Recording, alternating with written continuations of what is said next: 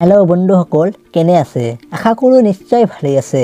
আজি মই আপোনালোকৰ লগত এন এছ বি অৰ্থাৎ নেশ্যনেল স্কলাৰশ্বিপ পৰ্টেলৰ পাছৱৰ্ড বা এপ্লিকেশ্যন আই ডিখন কেনেকৈ ৰিকভাৰ কৰিব লাগে সেইটো বিষয়ত কথা পাতিম। আপুনি যদি স্কলাৰশ্বিপৰ আবেদন কৰাৰ পাছত আপোনাৰ পাছৱৰ্ড বা এপ্লিকেশ্যন আই ডিখন পাহৰি গৈছে তেন্তে এই পাছৱৰ্ড বা এপ্লিকেশ্যন আই ডিখন কেনেকৈ ৰিকভাৰ কৰিব পাৰি অৰ্থাৎ কেনেকৈ ঘূৰাই আনিব পাৰি সেইটো বিষয়ত এইটো ভিডিঅ'ত দেখুওৱা হ'ব। ভিডিঅ'টো আপুনি স্ক্ৰিপ্ট নকৰাকৈ শেষলৈকে চাই থাকক। তাৰ আগত আপুনি যদি দ্য লাকি ডায়েৰী চেনেলত নতুন তেন্তে চেনেলটো ছাবস্ক্ৰাইব কৰি কাষত অহা বেলাইকনটো দবাই দিব যাতে মই আগলৈ আপলোড কৰা ভিডিঅ'বোৰ আপুনি পাই থাকে। তো বন্ধুসকল ব'লক ভিডিঅ'টো আৰম্ভ কৰোঁ।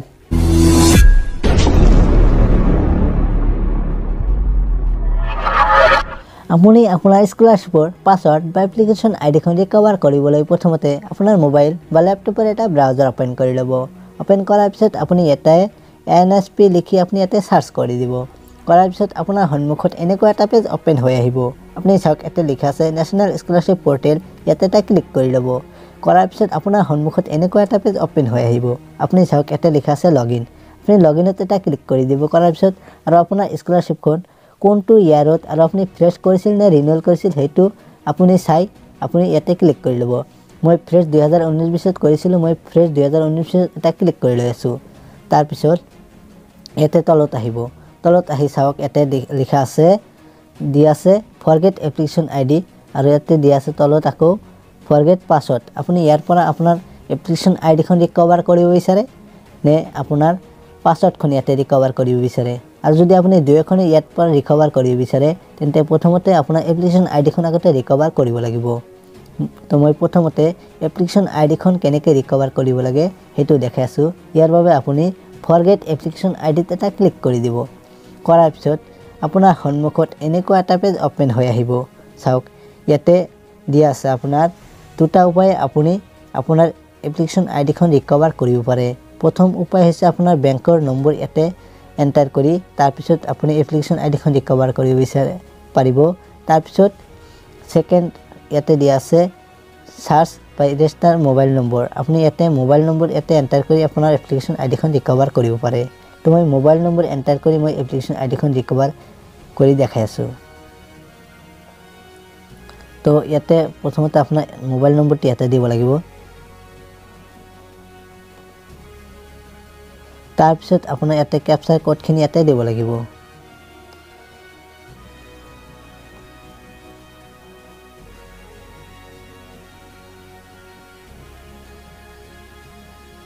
কেপচাৰ কোডখিনি ইয়াতে দিয়াৰ পিছত চাওক ইয়াতে লিখা আছে চেক এপ্লিকেশ্যন আই ডি ইয়াতে এটা ক্লিক কৰি দিব। কৰাৰ পিছত চাওক ইয়াতে লিখা আছে application I D has been sent on register mobile number register mobile নম্বৰত এপ্লিকেশ্যন আই ডিখন পঠাই দিয়া হৈছে।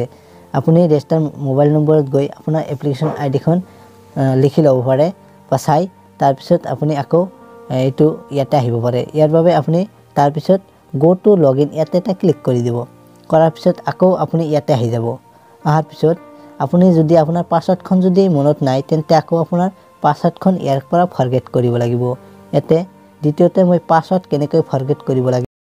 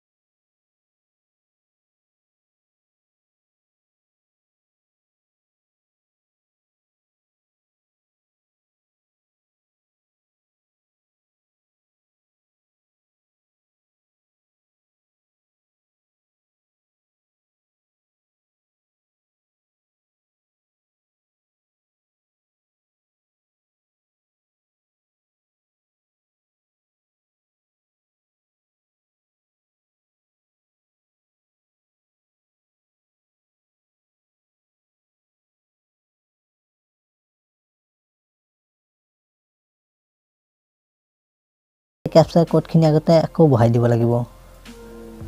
ইয়াতে কেপচাৰ কোডখিনি বহাই দিয়াৰ পিছত আপুনি লগ ইনত ক্লিক কৰি দিব লাগিব।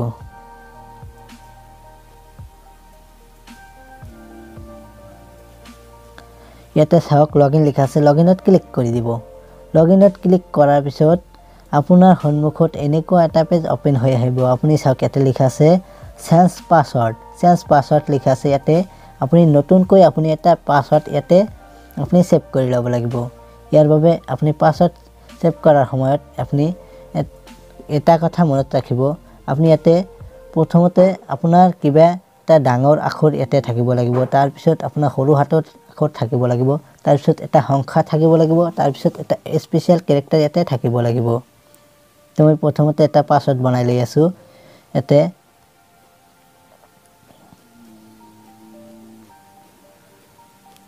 স্পেচিয়েল কেৰেক্টাৰ এটা দিব লাগিব।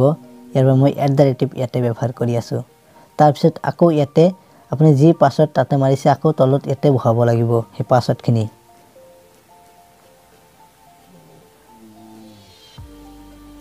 এইখিনি বহোৱাৰ পিছত আপুনি ছাবমিট কৰি দিব। ছাবমিট কৰাৰ পিছত চাওক ইয়াতে আপোনাৰ কাম কামখিনি এতিয়া সম্পূৰ্ণ হৈ গৈছে। আপুনি এতিয়া আপুনি এতিয়া আপোনাৰ স্কলাৰশ্বিপত যিকোনো কাম ইয়াতে কৰিব পাৰে। ইয়াতে কৰাৰ পিছত আপোনাৰ হৈ গৈছে যদি আপুনি এই পাছৱৰ্ড চেঞ্জ কৰাৰ মাজত যদি কিবা আপোনাৰ বুজাত অসুবিধা হয় তেন্তে আমাক কমেণ্টত আপুনি সুধিব মই প্ৰব্লেমখিনি ছল্ভ কৰাৰ চেষ্টা কৰিম। তো বন্ধুসকল ভিডিঅ'টো যদি ভাল লাগে এটা লাইক কৰিব আৰু যদি চেনেলটো এতিয়াও ছাবস্ক্ৰাইব কৰা নাই ছাবস্ক্ৰাইব কৰি কাষত থকা বেলাইকনটো দবাই ৰাখিব।